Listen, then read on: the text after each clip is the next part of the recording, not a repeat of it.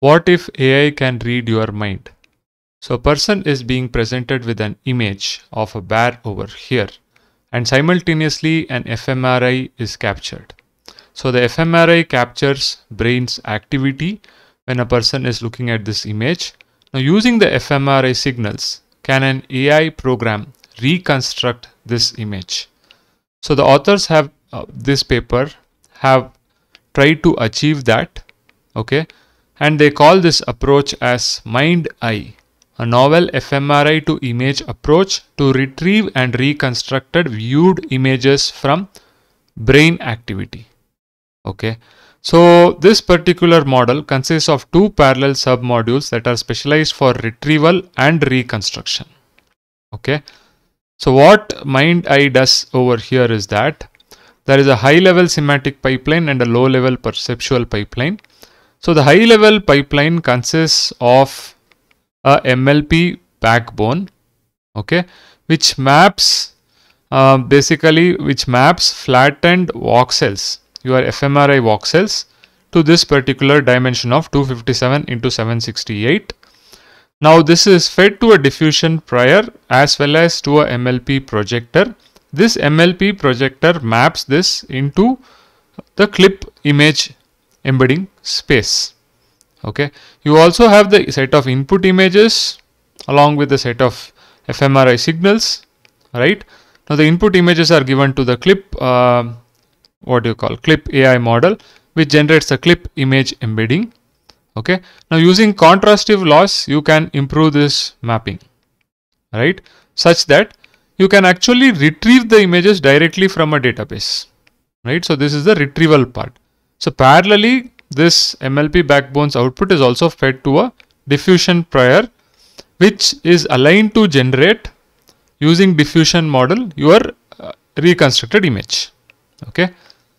So this is a semantic pipeline right? So now there is a low level perceptual pipeline also. What this does is that it maps this fMRI voxels into stable diffusion variational autoencoder space. Okay and then this uh, embeddings can be given as input to stable diffusion decoder to get low level reconstruction. Okay. So the low level image, uh, you know, it kind of um, generates what you call it lacks high level semantic content, but it gets the low level image. Now using this low level image, using image to image, you can construct higher quality image and then give it as an input to the diffusion encoders along with this diffusion um, aligned embeddings to get your final reconstructed image. So over here a subject has actually seen this particular image and his or her brain activity is recorded and using that fMRI signals this is the finally reconstructed image which is quite close to the original image. Okay. So here are some uh, results. Okay. Uh, so a subject is actually presented with a particular image of a zebra. Among different images of zebra, it actually, uh, this model is actually able to find the image, this particular image. Okay, that is what they have shown over here. Okay, so Mind-Eye finds exact top one image pair from the test set of 982 images with 93.2% accuracy. That is what they are saying over here. Okay, so this is this retrieval part right?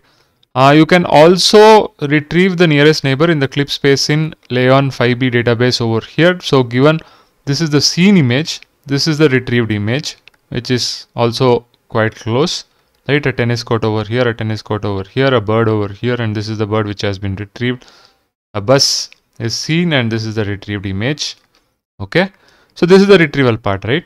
Now if you look at reconstruction part, this is the reconstruction results. Okay.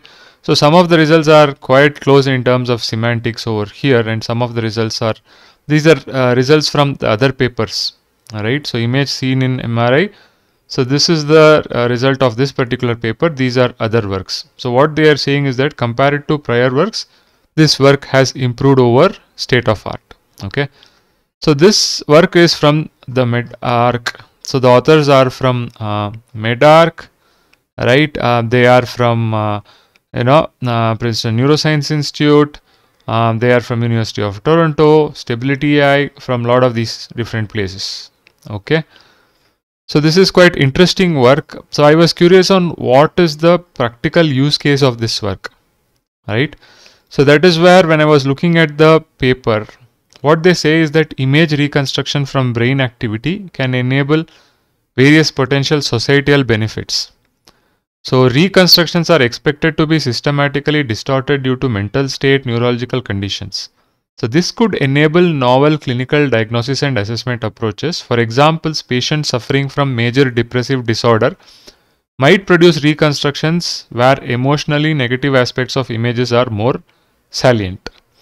MindEye results also suggest potential for improved locked-in pseudo-coma patient communication via fine-grained visual communication beyond simple classification as well as brain-computer interface performance if adapted to real-time fMRI analysis or non-fMRI neuroimaging modalities.